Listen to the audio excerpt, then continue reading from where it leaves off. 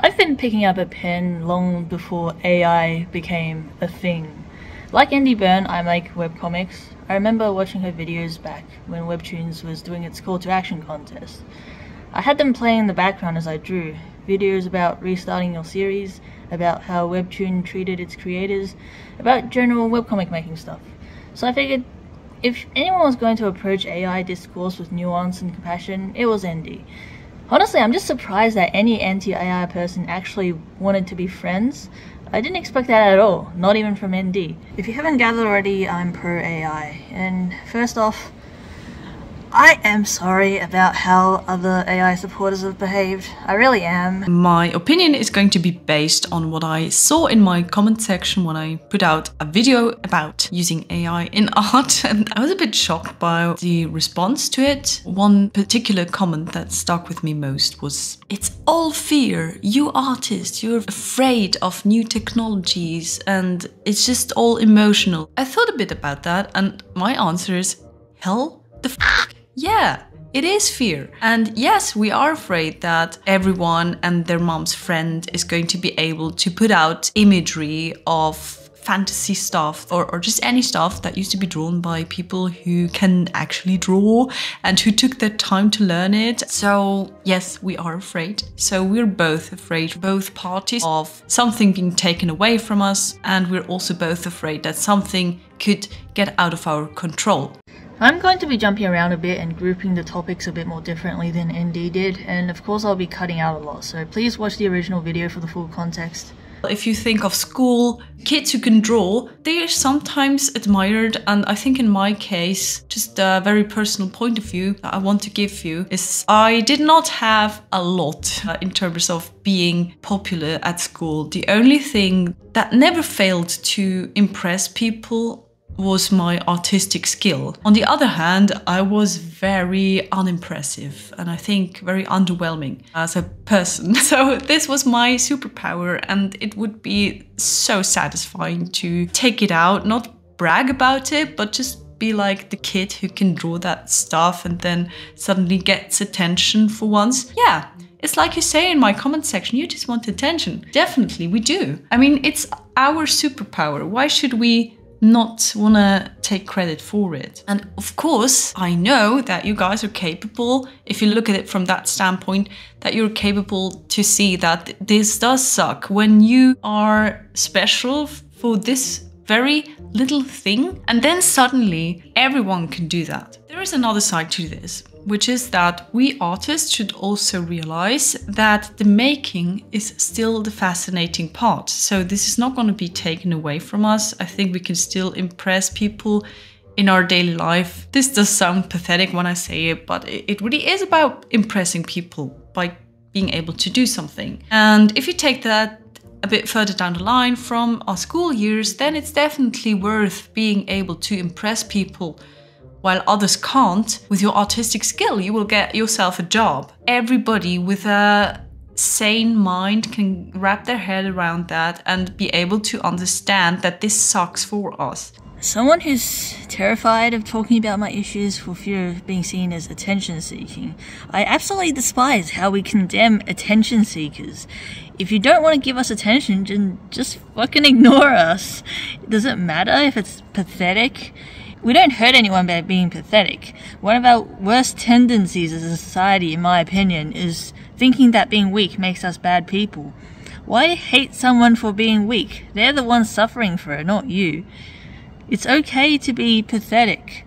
It's okay to want approval. I want approval. I personally didn't get it from art as much as a kid because I didn't know who to show it to in real life, and the fear of attention seeking has already gotten to me at that point. So it's not as tied to art for me, but I'm a huge attention whore. I have this whole not like the artist thing going on here where I feel like a badass going against the mainstream opinion of the art community as an artist. It's pretty cringe, but it's okay to be cringe. It's okay to want attention.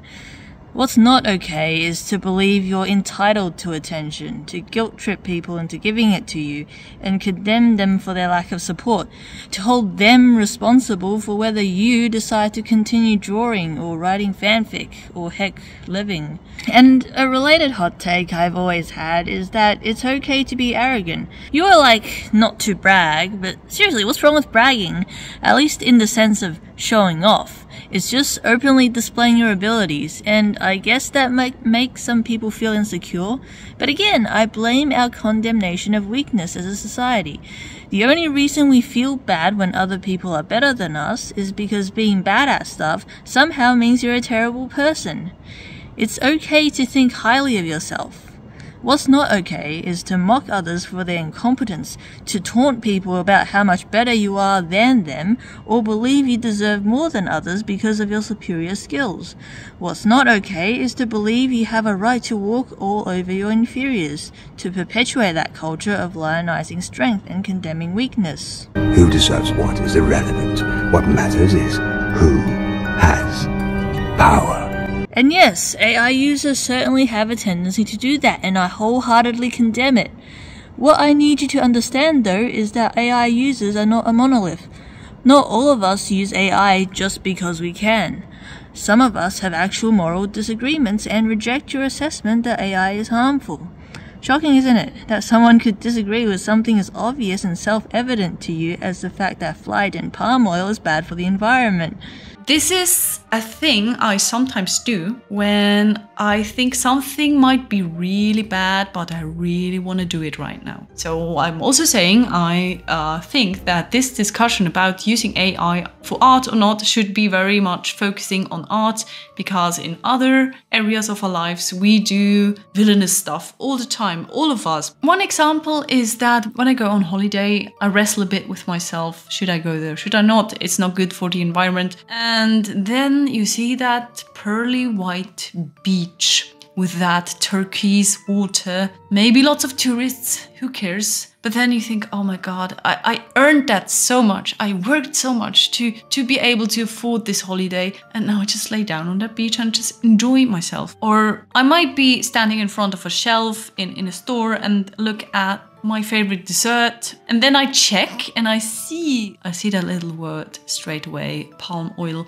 But I, am telling you, 50% of the times I would still buy it because my emotions overweigh and I think, oh, I can't live without eating this specific ice cream and then eating it in five minutes. And for that, it was worth it. I think it's a bit similar, although I don't uh, expect anyone to have such an extensive analysis of whether they should use or not use AI. Just to give you a bit of context that all of us do those villainous things that General Thrawn is talking about. Hey, it just depends on whether you can do it or not. Just do it. And then just do it because it makes sense that I'm doing it because that's the only thing that brings me to the next point. While other people they think about, hey, is it really worth for me to get to that next point or get that satisfying feeling when it's actually really bad for other people? I'd believe it. It does seem like most AI users don't really think about the moral ramifications and just use it because they can. After all, there are way more anti-AI discourse videos than pro-AI discourse videos, with most pro-AI videos being concrete level direct stuff like how-tos and such. But I hope you're not implying that everyone who uses AI are like that, that we haven't thought things through or choose to go screw it and do something we think is bad anyway in order to satisfy ourselves. Maybe that applies to normally anti-AI people who make an exception for memes and trivial silly fun, or anti-AI artists whose ChatGPT or Character.ai, or someone like Ergo Josh who thinks we might as well embrace it because it's here to stay or the normies you're talking about. But full on AI bros don't think AI is immoral at all. Full disclosure, I am a straight up IP abolitionist, but I'm going to talk about whether or not AI art is theft from the perspective of someone who does condone copyright, because that's the majority on both sides and thus the default assumption. Say I type in animating electric crockpot cable power outlet steam two people sitting on floor facing each other holding bowls eating abandoned building brown head girl on left black head boy on right. And get this. Who is this girl? Who is this guy?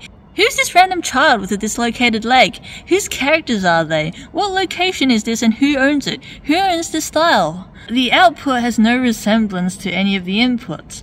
If it was a human artist who looked at the training data for reference and ended up drawing this, it would be absurd to claim this is copyright infringement. Now, the usual counter to this is, oh, but humans take inspiration from references and consciously reinterpret them, which makes it transformative.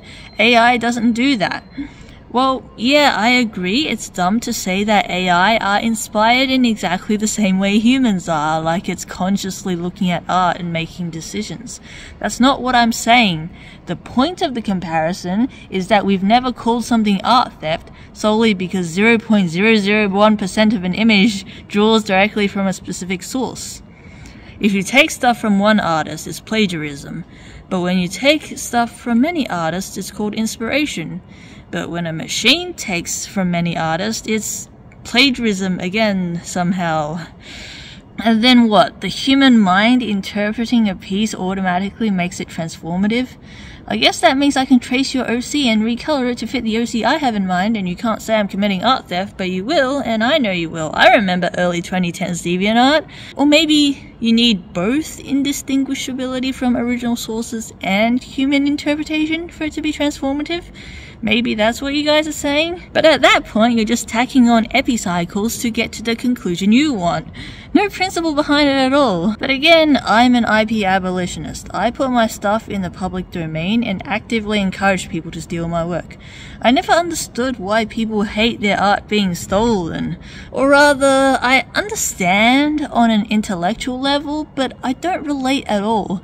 To me, watching you all complain about art theft is kind of like watching someone being drawn on with a highlighter and them going, Ah, it burns, it hurts so much. Like, I'm sorry that it hurts you. You're clearly in pain, and I take no delight in that, but sorry, I can't really empathize. I'm just not feeling it. Maybe it's the STEM lord in me? I can tell that the AI using community is different in terms of what they want to do with art or what it means to them. There are some things overlapping with us, but there seem to be a lot of people who are from the technical field, like, for example, developers or engineers. Not all of you, of course. I get that giving a developer a program that can be influenced by a language and mathematical terms that visualizes something, an idea, or, or just a world or a law, seems to be holding the same fascination as the paper and the pen for artists. And that's also why there are so many comments, I guess, in my comment section saying, What's your problem? We don't get it. of course, you don't get it because while the outcome might look similar, the making process is very different. I'm not a developer or an engineer. My background's in pure math. I can't code my way out of a paper bag, and installing Stable Diffusion locally onto my laptop gave me a splitting headache. But I do identify more with the STEM side of things when it comes to the culture of sharing your work. Like, have you noticed that the free and open source movement is a software thing? Open source art, on the other hand, is virtually unheard of. I guess there's people making free assets and bases, are those still a thing? But the art community has always been very cancel all the art thieves and don't steal my OCs ever since I was a kid. And I think that's just an attitude lots of STEM types don't understand. Is it about the struggle, the effort, about not wanting others to freeload off your hard work? Prompting is certainly easier than drawing, but coding sure as heck is a struggle. But programmers happily steal each other's code without credit all the time, without offense. I don't know if this is actually the dominant attitude of AI bros. A lot of them aren't actually machine learning experts, judging by how hilariously misinformed a lot of their takes are. And you mentioned in one of your other AI videos that people get really possessive of their prompts. Honestly, I can't speak for them because I understand them just as little as I understand you guys. But I found this worth mentioning anyway because I feel like it's a significant, even if not universal dynamic that you've missed. I'm aware that most people watching this channel are artists. A lot of them are comic artists, and we have different opinions about AI art within our community because comic artists, per se, we use a lot of time drawing the same thing over and over again from the same perspective, the same colors. It's not like we're always making new artworks with lots of creativity. A lot of what we're doing feels automated, it feels mechanical. So there are a lot of people among us who, who really rely on tools that make it easier to do what we want to do. I mean, if anyone came up to us and tells us, "Hey, you can feed an AI model with your art or with your what, you are doing all the time and it will do it for you, the mechanical processes, but you still have the power to control what the the image is going to look like." I think a lot of us would say, "Hey, yeah, sure, we're going to take that." On the other hand, it's still very much for all of us, whether we draw comics or anything else, we still want to be involved in that drawing process because for us, if you offered us a program with a text box where you could just write in linguistic terms and those linguistic terms would be turned into an image, as opposed to giving us a white piece of paper and a pen, we would always choose the paper and the pen because that's how we're wired. I guess most of us, I think there are now artists young enough who grew up on drawing on an iPad, but I would say 99% of us, we started off with a fascination for pens and that they can make marks on the paper. Well, no, I'm not wired that way. I actually don't like drawing that much. I didn't pick it up out of a fascination for pens and how they made marks on paper. It was growing up with shows and games that I liked and wanting to make something like that. The process very much does not matter to me. My interest in drawing has always been results focused. I guess I'm in the minority here. Maybe because most people who only dreams of results end up getting distracted by other things they actually enjoy doing for its own sake, so they end up with no drawing skills, then pick up AI when it comes out. Whereas I was bored and poor and had no friends, so there was nothing to do but draw. Maybe I just don't get it. I don't get why you can't just automate the tedious repetitive parts and manually draw to whatever degree you enjoy. Well, okay, with the current state of things, it's clearly because of your anti art theft values combined with the fact that AI sucks at keeping things consistent and also doesn't integrate well into most of your workflows as it outputs a flat image not separated by line art, base colors, and shading and all that. But if all that was solved, would you really still use it?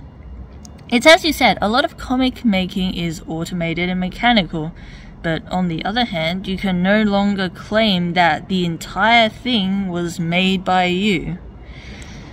Contrary to what everyone keeps saying about AI users, I don't actually give a crap about being an artist or being seen as the one who made a piece. Maybe it's somewhere on my list of priorities, but it ranks far below wanting my ideas to exist and AI helps speed that up so there's less of a risk of me fucking dying or breaking my wrist before that happens. The tools that I mentioned for me to use as a comic artist that just takes my stuff and puts it into a model to make my own art without stealing art from other people. This might exist, but for that, I have not drawn enough art in the very style I'm drawing in to make this real. Or maybe I'm just too lazy to train a model. Maybe I think that actually I could use this time just drawing my comic instead of training a freaking model to do that. Or I'm still in love with the process, so I don't want to train the bloody model. I don't want a model to make my art. And once I feed a model with my art, maybe someone else is going to take it. There's just too much uncertainty. Now, first up, I'm not trying to tell you or anyone to start using AI. I'm not one of those adapt or die types, and obviously you should make your work however you darn well want. Secondly, it's true that there's no way currently to train a model exclusively on your art. You can build off an existing model with just 5 extra pictures, but the model was already trained on like 2 billion other images, and of course to train a model from scratch you need 2 billion drawings of your own, which you aren't going to be able to draw within your lifetime. But there are models like Common Canvas that are trained exclusively on images in the Creative Commons, and you can build off them, though I personally don't know how to do that. And I obviously don't care if someone takes my model and runs with it, but I do get the other reasons you're saying here. I've only attempted to train some models myself in the last month, and I've yet to be successful. I didn't even pick up AI in general until like mid this year. That's way after I first heard about AI, which I supported from the get go because, you know, IP abolitionist. Partly this was to make a point. I wanted to go, you claim that all AI supporters are talentless tech bro grifters. But look, I support AI and I'm an actual pick up a pen artist who does not use AI. Checkmate haters. But also it's just hard to learn to use a thing when my old way of doing things was perfectly serviceable. I'd already optimized my art style to be quick and effortless. I've literally stopped bothering with line art and clean coloring and making sure my shading stays inside the base because it's quicker to work on one layer. In a way, picking up AI kind of feels like I'd be wasting that optimization of my drawing process. What ultimately made me go screw it was Okay, I was finding out about the existence of ControlNet, which lets me dictate the composition of the image, making it actually useful. But more to the point, again, I didn't actually enjoy drawing that much, and eventually I found myself procrastinating by looking into this AI thing. It wasn't about feeling pressure to get ahead or wanting to become a grifter or, and make a quick buck or whatever. If anything, I knew it would absolutely tank my artist cred and did it anyway in spite of that. The last thing I already mentioned is uh, people are doing this AI art thing for esteem. They want to belong in the art world. They want to have the same reputation and they want to have a say in the art community. And I think that's why I really dislike it when big artists like the one we talked about in one of my previous videos and also other big artists give them credits because that's exactly what they could not have before. And the AI art is like the ticket to that recognition. And if you, as a big artist, give someone recognition for using AI art, then it's like, yeah, that last little thing that separated them from our community, they have it now. And I don't particularly like that. Although I, I also don't like the fact that it matters to me. The feeling I have reminds me very much of jealousy. And I don't like for myself to be jealous. But here we go. I don't like it that other people are now allowed in the art community who have not had the same struggles as we had. There it is. And once you have the power, it's really hard to give it away. Hence, we're just all afraid. We're just really scared people. Yeah, no, I don't get how you come to this point at all. AI users are now allowed in the art community? Since when? The big artist you talked about in one of your previous videos was universally condemned for his use of AI from what I could see. AI users are absolutely not welcome in the art community let alone have a say, whatever that means for a loose collection of individuals grouped by a common trait rather than a common goal. Yeah, no one does AI art because they want approval from the art community. And again, I don't mean this as diss against wanting approval. It's okay to want approval, but it's just blatantly absurd to me that someone will seek approval from a community by doing the one thing it hates the most right now. But I get what you're saying about giving away power, and honestly, respect for being so open about it. You know, I have savings. Quite a bit of savings accumulated from years of being insanely frugal since I'm fortunate enough to not need any medical upkeep, so I only need food and shelter.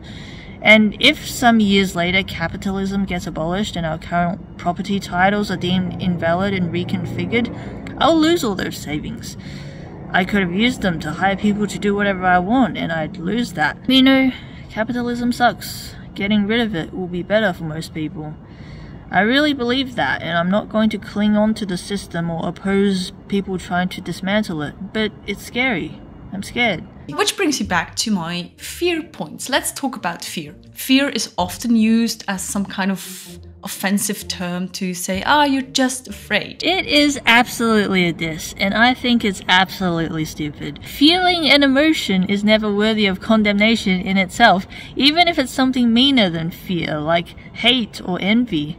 It's what you do with that emotion that counts. Then I also want to say that there is not only fear on our side, on the artist side, I think there's also a lot of fear on the AI artist side, which is that we, the art community, making all our videos moaning about artists using AI, they think we want to take away that beautiful gift that AI art has given them. And I totally understand. If someone told me, hey, I'm to chop off your hand now, you will never be able to draw again, I would be scared as well. Absolutely. AI users are absolutely afraid.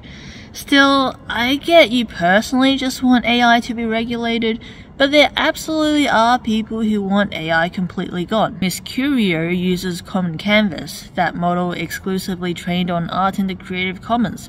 People still harass her. There are people who think that AI is ontologically evil and slop and isn't worthy of existing because there was no effort put into making it.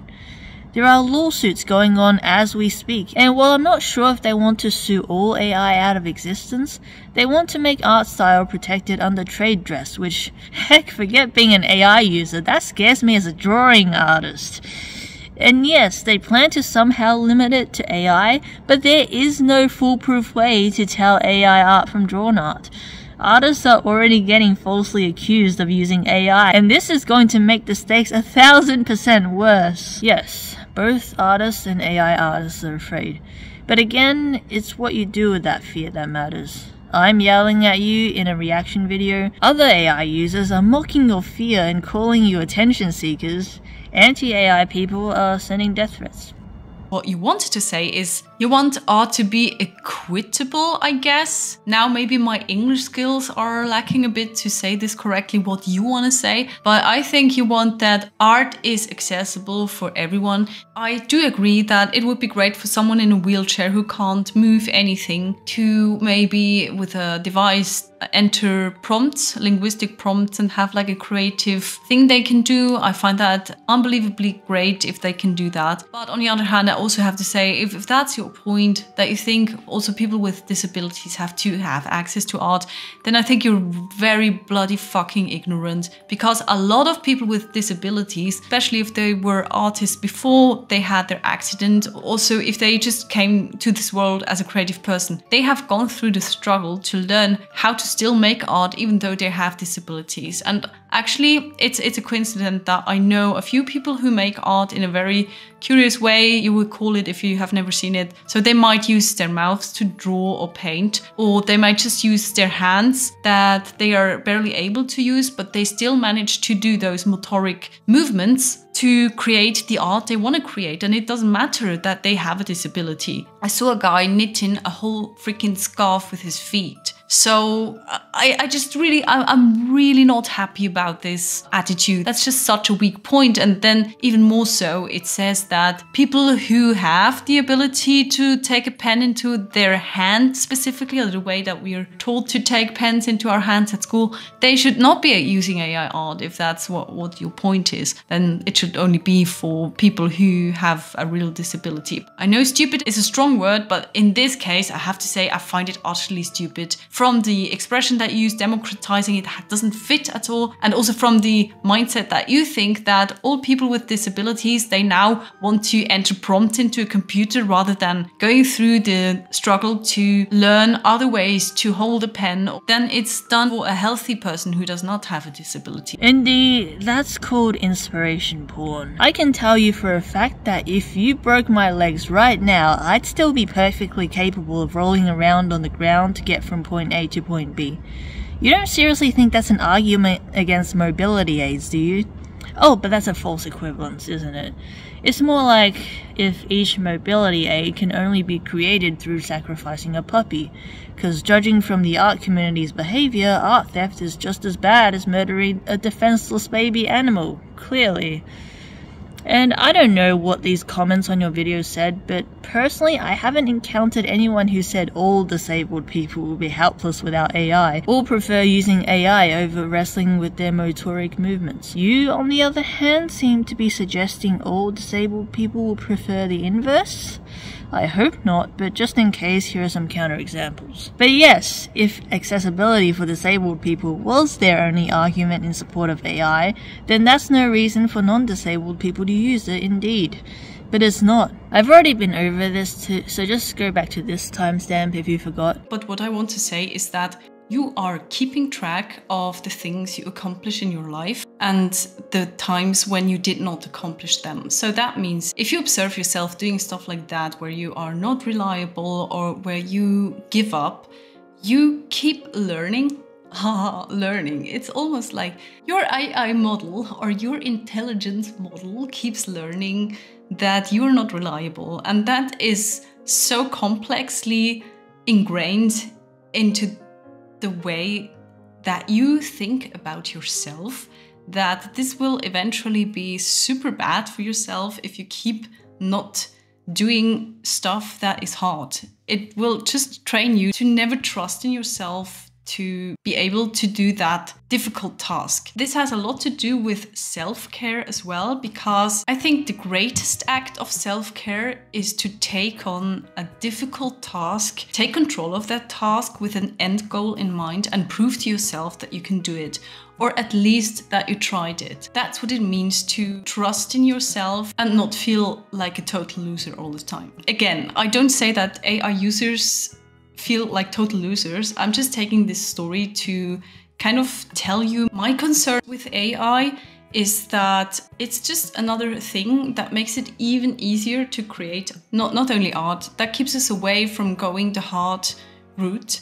For example, if you're drawing backgrounds for your comic, um, what I have learned is that yes, it did take me much longer. I lost a lot of time doing all these, uh, studying all these backgrounds or studying perspective, not using any tools apart from some references. But even those you need less and less if you keep doing it yourself or if you keep um, practicing.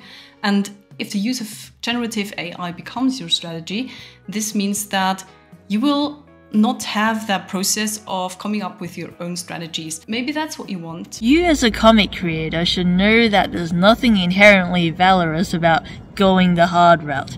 You yourself have said, and I quote, there are a lot of people among us who really rely on tools that make it easier to do what we want to do something something digital art, something something cameras, something something farming goats to make your drums. I'm sure you've all heard of it before, and if you haven't, there's no shortage of pro AI people out there willing to explain it even more condescendingly than I'm doing here. On a more general note, I categorically reject the Brave New World narrative that making things easier for people will cause society to decay into sloth and mindless hedonism.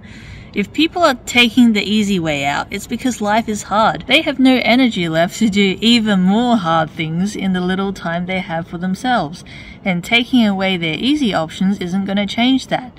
You expect they'll pick up a pen instead of playing around with AI, or pick up a book instead of watching TV, but most likely they're just going to crawl into bed and stare at the ceiling. But, but that's no excuse, is it? Life is hard for you too, yet you still muster the will to pick up a pen. Which of course brings us back to the art theft discourse because why would you need an excuse in the first place? Because AI is immoral outside the part where it makes people lazy losers. But we just love conflating it all into one big ball of bad vibes. But let's at least try to focus on one argument at a time. If AI didn't exist, maybe some people would pick up a pen instead. But maybe taking the easy way out in method lets us become more ambitious in scope. What's harder, drawing a single picture or making a 100 page comic with AI? What's harder, drawing a 100 page comic or making a 100 minute animation with AI? You think AI is causing us to be stingy about our effort points, but again, we're only going to do that if we're hurting for effort points. If we're not, we're going to be spending the same amount of effort points regardless. We're just going to allocate them differently to optimize for whatever is most important to us. For you, that might be the process of drawing, the satisfaction of knowing you made the marks with your own two hands or feet or whatever you use. But for some people, that's the end result. You're not going to make anyone feel a sense of accomplishment by telling them to make things arbitrarily harder for themselves by imposing on the hard part a meaning that you think should be there. Just like AI bros aren't going to do you any favors by telling you to use AI because it's a more efficient way to accomplish the only thing they think is meaningful in your work. I want you to have a bit of value that contributes to you being an artist. So if using AI is part of that journey, then I'm not going to stop you. I want to believe that, ND. I really do. But when push comes to shove, artists have revealed over and over again that their top priority is their intellectual property rights and entitlement to control over their work. You think you can take whatever you want? Things you didn't make? Didn't earn? Things you don't even understand? You don't deserve to have this art. No, artists, I don't think you're naive. I think you're a bunch of hard nosed cynics who live in a world of tit for tat, where everything has to be earned, where everything has to be deserved. incapable of imagining a world with everything for everyone, where everything must belong to someone, where it's justified, fair even, to keep infinitely copyable things under lock and key, a world of hard-working, upstanding citizens and entitled freeloading thieves.